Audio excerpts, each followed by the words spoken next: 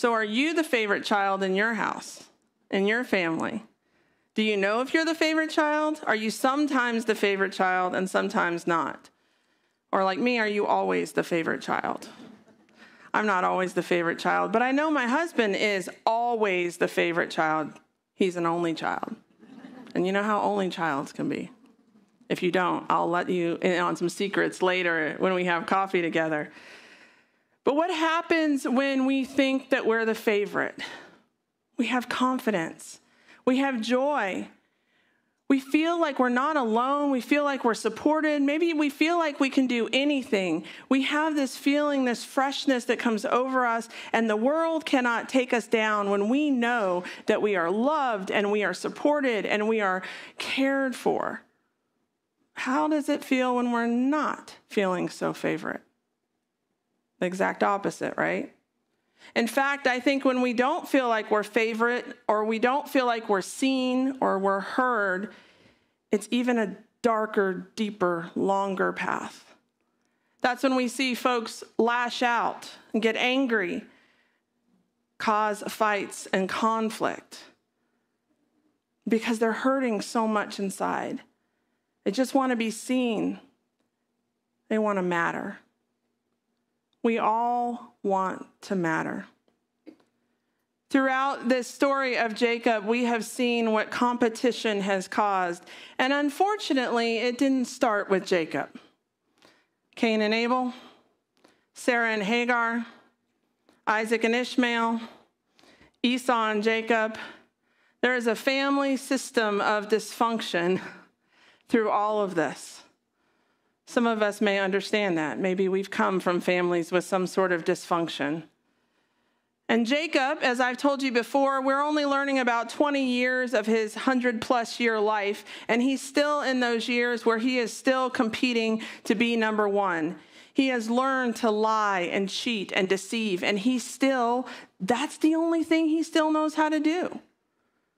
Now, if you know where we are in this story, he's run away from home because his mom told him to get going because his brother Esau was very angry with him. And now he's come to this land with his uncle Laban.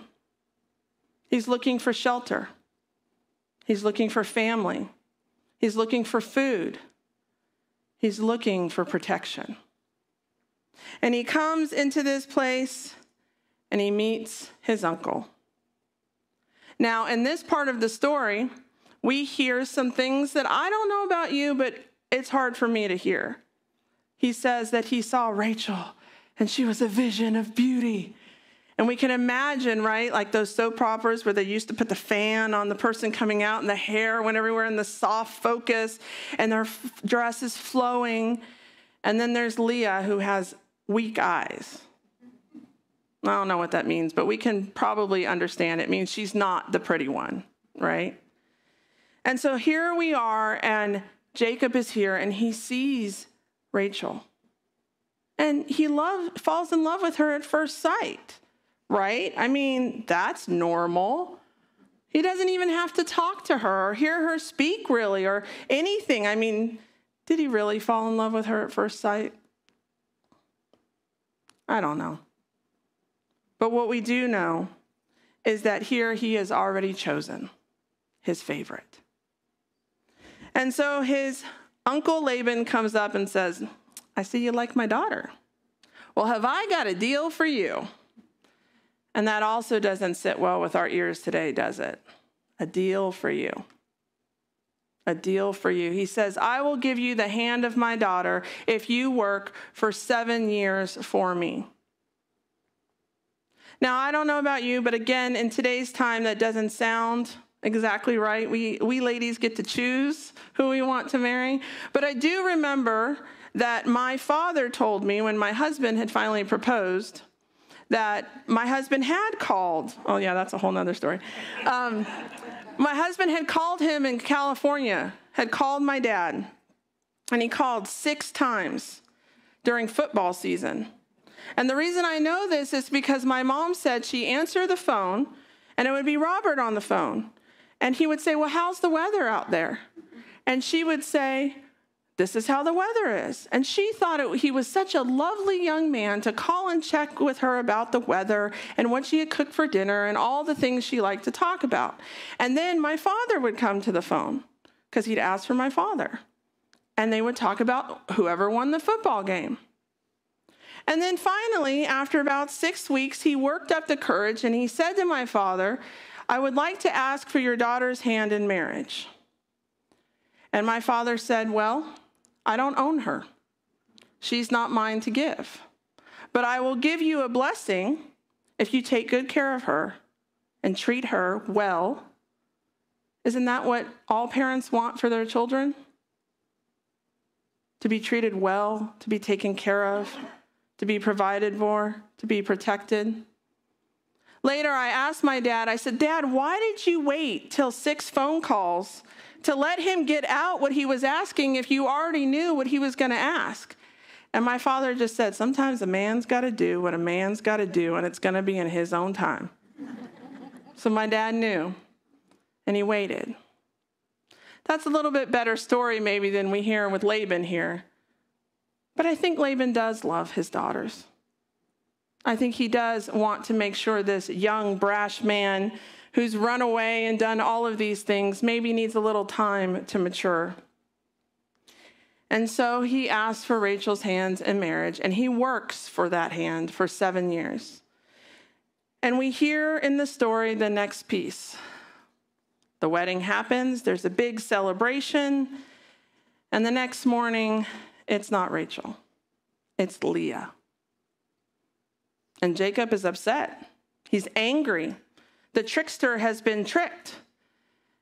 And in this part of the story, that's where my heart goes to Leah. How must she feel?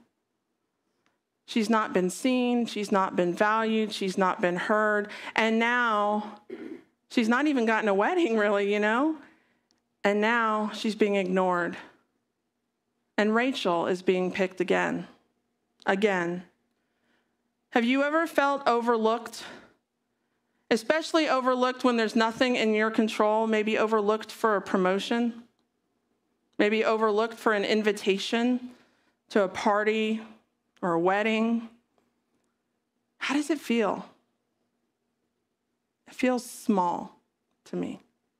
It feels small. And what really sticks the knife in here is it says, Jacob loved Rachel more than Leah. Humans can't live unloved. We can't. We cannot live well. We cannot live abundant life. We cannot live happy or healthy if we don't feel that we are loved. We don't know without a doubt that we are loved. It causes conflict, as we see in this story, right? But it also causes internal conflict in us, which we don't see as much for Leah, but we know it's there. We can't live well when we feel unworthy, unwanted, and not needed. And this dysfunction of this family has now come to rest on Leah. So at this part in the story, I ask, where is God? Where is God in this part of the story? Where is God in your story? Well, Jacob, he's taken shortcuts again. He knows, as we heard last week, that God said, I will be with you wherever you go, but I will not be condoning your bad behavior. And we know that God is with Jacob then. But where is God in this specific moment? Well, I didn't give you the rest of the scripture. You can look it up later or just believe me now. Because it says, God saw Leah and he blessed her. And her womb was open, and she gave birth to four sons. And each of those sons she named, thanking God for his blessings. So God does see us God sees us like God sees Leah in the corner, unwanted and unneeded and unloved, and says, I see you and I will bless you. And I think the problem for many of us if we really admit it when we're feeling really bad and we're feeling really low, I think the problem is we think that God doesn't have enough blessings for everyone, that God doesn't have enough love for everyone. We think that somebody is favored more than us, especially when we start to compare my life to this life, my job to this job, my children to these children. And we feel like maybe, does God even see me? Does God even know I'm here? Well, this week I went to a conference for two days and I made a friend. And do you know how I made a friend? The second day I sat someplace different. Y'all try that at church sometime. The first time, the first day I sat with these folks, and the next day I sat someplace different. And I met a new friend. He's a pastor, and his name is Jay. And we were talking about this story, and I was telling him how I was going to tell you all that Jacob and Leah and Rachel about the favor, right? About who was the favorite, that God shows that Leah is favored in this moment. But later, Rachel will get her blessing and Jacob will get his blessings. But in this moment, it was Leah that needed to be seen and loved. And I said to Jay, I said, How do you think this is going to go over? Do you think I'm on the right path with this sermon? And he said to me, I'm an immigrant from Korea. I feel like a second citizen, he said to me. He said, People won't come up to me or my wife because they think we don't speak English. People don't come up to my children or invite them to parties at school we don't know why. Maybe it's the English, maybe it's the different way we take off our shoes when we enter the house. He says, But I feel like a second citizen so often. And he said, When you just told me that God saw Rachel and Jesus sees me and calls me favorite, that changed my views. He says, In God's kingdom now, I understand I'm a first citizen. I matter. And in that moment of talking to Jay, my eyes were changed as well. I'm going to admit it. And I realized in that moment that I hadn't seen him as neighbor either when I first met him. But he is. We are. We are neighbors. We are loved equally. We are favored by God, and God sees us. Do you believe that? Do you believe that you are God's favorite? Do you believe and do you know that on the cross, when Jesus died, he didn't just die for me, he died for you? Do you know that and do you believe that? And if you believe that, what confidence does that give you? Let me show you something I have in my office. I'm going to let Miss Clara read it for us. Miss Clara, what does this say? Jesus loves you, but I'm his favorite. so, what did Miss Clara just say? Am I his favorite? Or is she his favorite? You see, when people come into my office, they see this plaque and they laugh and they think I'm being sarcastic, because I usually am right? They're like, oh, yeah, you're his favorite, Pastor Sarah. And I said, no, read it again. Jesus loves you, but I'm his favorite. When you read this, you are the eye. You are the apple of Jesus' eye. And what does that mean for you? How do you live your life differently when you know that you are loved? How do you live your life differently when you know that you matter? And how do you share your gifts when you know God has given you gifts to build this kingdom? Your story is part of Leah's story and Rachel's story. And sorry, it's kind of Jacob's story too. We all have those times when we deceive and trick. But more importantly, your story is part of Jesus' story. And there is no competition for Jesus' love. Jesus loves you. And you do not have to fight with anyone else to prove it. You don't have to put anyone else down to climb the ladder. So now let's look at this story again. When I got to this part of Leah, I felt really sorry for her, and then I saw the blessing that God had given her. But if you look at the bigger picture, God keeps God's promise that Jacob will be blessed. And he is. And he has many sons and becomes the ancestor with as many followers and people after him as sands on the beach or stars in the sky. Now, Laban's a trickster. I kind of don't want him to win in this, but he's blessed too. And I can tell you one thing that he's blessed by because it took me a long time to think about because I didn't like Laban in this story, but you know what he's got? Grandchildren. Can I get an amen? Right? He gets grandchildren. And Rachel, she gets Joseph. You'll see that later. But she also is loved by her husband.